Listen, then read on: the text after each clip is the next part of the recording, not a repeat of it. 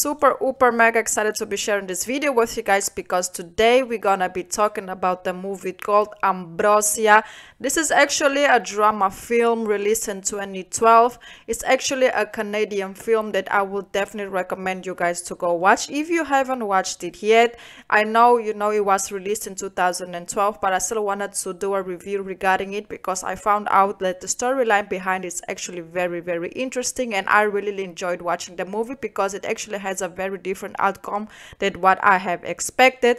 So today we're gonna be talking about you know the relationship that developed between Sarah and Leila on the movie and what and everything that happened between them. But before we get into this video, please let me know down below in the comments if any of you have watched this film and what are your thoughts on it. Do you like it? Do you dislike it? And would you recommend people to go watch it? I will definitely recommend you know anyone to go watch it. It's quite a simple movie, but it's still very very interesting. So let's not waste any more time and let's get right into the topic. So the movie is about the Iranian Canadian couple Ali and Leila who struggles to get you know their finances together. So they go through a lot of ups and downs, also finding out the way to fix their marriage and to see if their marriage is really worth the fighting for. Leila is a doubtful and very busy woman. She's you know she's married. You know her husband has a pizzeria. And she also works as a waitress and she's also a fashion student. Her dream is to become a fashion designer. Sarah is a businesswoman and she's in the fashion industry. She's a very, very well known person. She is a teacher at the fashion school where, you know, Leila studies fashion and she also owns a fashion firm and she's married to a woman who is named Monica.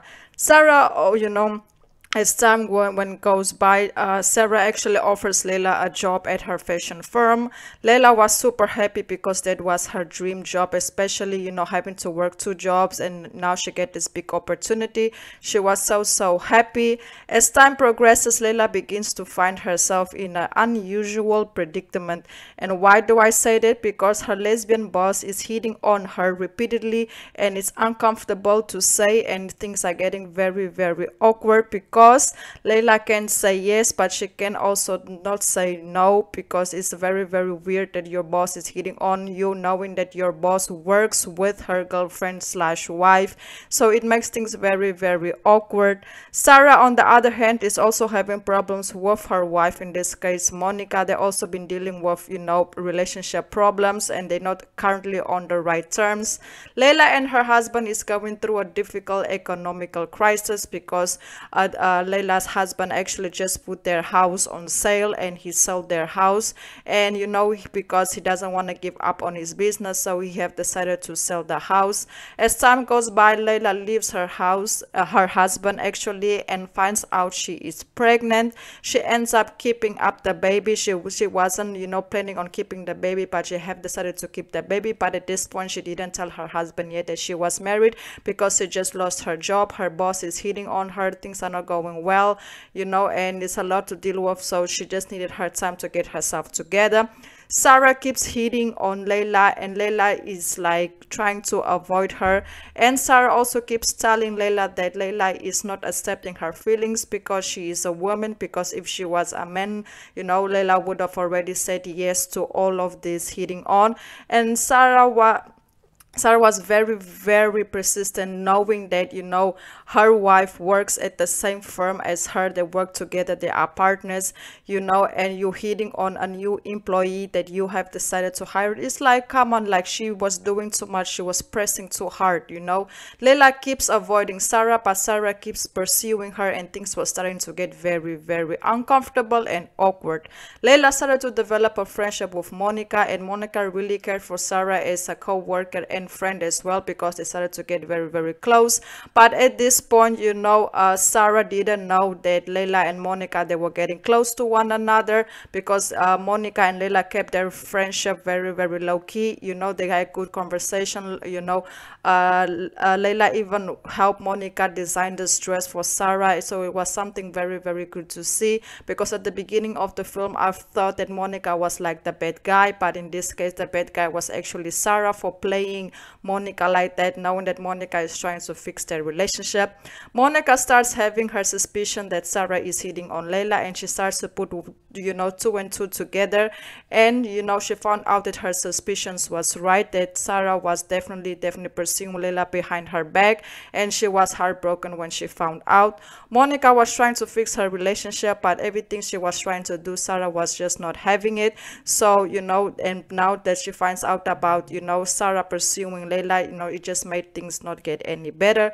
Leila rejects sarah and puts her end of the awkwardness and tells her that she's not interested in basically basically she don't want to have anything with her that she wants to fix her relationship with her husband but sarah was still in denial but leila kept it real real real with her. And so like regardless of anything i'm really you know grateful for the opportunity you have given me but i'm not interested in you. And like you need to basically stop. You have a wife who works with us. You gotta stop.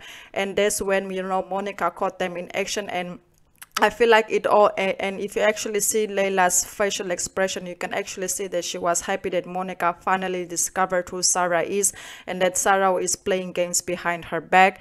Leila, at the end of the movie, she reconnects with her husband. She finally have the conversation with him and she tells him that, you know, she is pregnant and they're basically gonna be parents.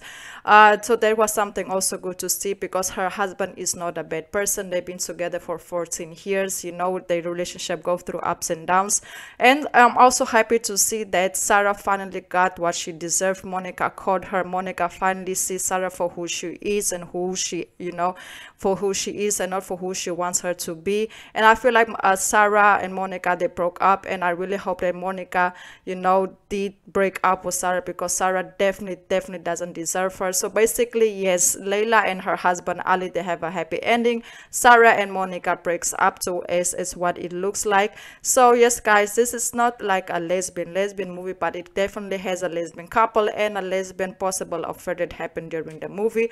But I'm really, really happy that you know know uh, Leila didn't fall into Sarah's you know temptations because one of the reason is because Sarah is very very bossy. Like she doesn't take no for an for an answer and when she has her eye on something she just goes for it. She doesn't care who gets in her way and who she hurts in the process of getting there.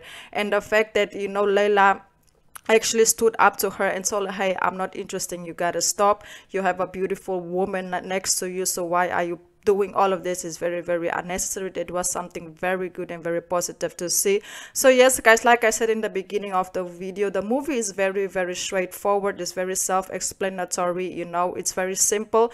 So yes that's basically it. Please don't forget to like comment share and subscribe to the channel. And thank you thank you so much for all the love and all the support. And if you guys have watched this movie please let me know down below in the comments what are your thoughts on it. From 1 to 10 i would definitely rate this movie as 6 6.5 i I just felt like uh, I wanted to see more of Monica. I wanted to see more why Monica and Sarah's relationship have when you know was going through.